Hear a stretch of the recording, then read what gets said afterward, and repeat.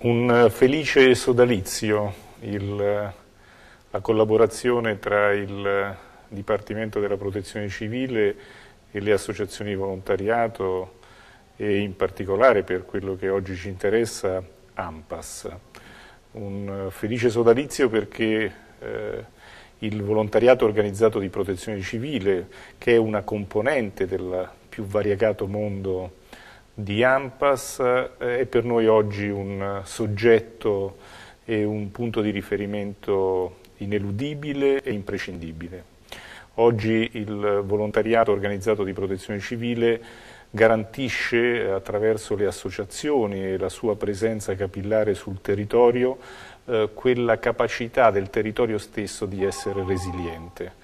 Eh, e quindi per noi eh, oggi più che mai avere rapporti con il mondo del volontariato organizzato di protezione civile, come dicevo prima, è dire, un, un, modo di, di rendere eh, completo il servizio che rendiamo attraverso l'intera organizzazione della protezione civile nel nostro Paese. Eh, con AMPAS eh, c'è un rapporto forte, un rapporto di leale e piena collaborazione, eh, dall'ultimo dei volontari di AMPAS al suo presidente eh, Fausto Casini, eh, che anche in questi mesi di mia gestione del Dipartimento non ha fatto mai mancare la sua collaborazione, il suo appoggio, eh, i suoi intelligenti suggerimenti. Ma il volontariato organizzato di protezione civile non è soltanto la massa di manovra eh, che eh, siamo abituati a vedere nel, nell'ambito del, delle disgrazie che periodicamente connotano la vita eh, di questo Paese, ma è sempre più un volano per quella cultura della consapevolezza a cui l'intero sistema della protezione civile sta tendendo. E mi piace in questa circostanza eh, sottolineare l'impegno di AMPAS su questo importante settore, cioè sulla diffusione di una cultura di protezione civile. AMPAS eh, in questi mesi, in alcune realtà più a rischio del Paese, ha eh, ideato, contribuito eh, a questa campagna, eh, una campagna che eh, ha proprio l'obiettivo di sensibilizzare i territori e di sensibilizzare le popolazioni. Io credo che il nostro Paese farà sicuramente un significativo passo avanti nel peraltro lungo percorso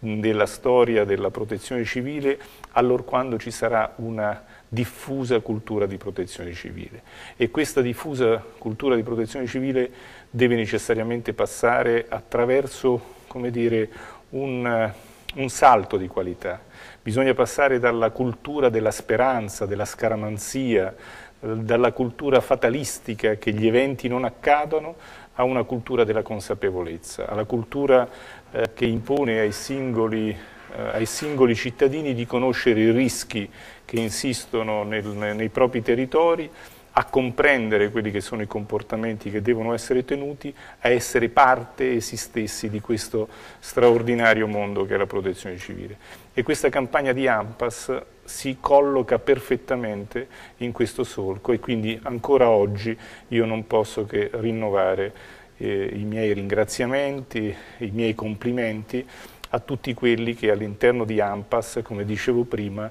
hanno immaginato, ideato, ma soprattutto realizzato insieme a noi questa importante tappa nel percorso della consapevolezza e della cresciuta consapevolezza che, come dicevo prima, è uno dei passi fondamentali se vogliamo veramente rendere il nostro Paese più sicuro. Che dire delle ultime polemiche o, delle, o dei rumors che eh, hanno immaginato, che hanno eh, fatto ipotizzare il trasferimento del Dipartimento eh, della Protezione Civile al Ministero dell'Interno. Credo, forse perché da quel ministero provengo, e non solo provengo, io sono un prefetto della Repubblica, quindi a quel ministero non posso che guardare perché quello è il mio ministero, ma proprio forte di questa appartenenza e quindi forte del fatto che nessuno potrà mai sospettare che il mio giudizio è un giudizio di parte e men che meno un giudizio interessato, dico che questa opzione sarebbe un gravissimo errore. Il nostro Paese ha intrapreso con grande intelligenza e grande lungimiranza questo percorso che ha collocato in maniera eh, assolutamente dire, definitiva il, la governance, la cabina di regia dell'intero servizio nazionale di protezione civile all'interno della, eh, della Presidenza del Consiglio dei Ministri. Collocazione che l'intero mondo ci invidia, eh, collocazione che garantisce quella autorevolezza e quella possibilità di indirizzo e di coordinamento pieno che solo la collocazione all'interno della Presidenza del Consiglio dei Ministri garantisce. Eh, come abbiamo detto, e lo abbiamo detto in maniera assolutamente chiara, un ripensamento in tal senso sarebbe un gravissimo errore. Ovviamente, come poi ho soggiunto, essendo noi parte di questo, di questo mondo, che è anche mondo dire, della, della, pubblica amministrazione, ci atterremo a quelle che saranno le decisioni del nostro governo. Però nel momento in cui si è immaginato di poter decidere, eh, non ci siamo sottratti alla responsabilità che immaginavamo eh, ci coinvolgesse pienamente di dire la nostra. Quindi ribadiamo la necessità, l'opportunità che eh, questa eh, intelligente e lungimirante intuizione di 30 anni fa non abbia eh, come dire, a essere rivista e soprattutto a essere rivista in, in termini peggiorativi. Grazie.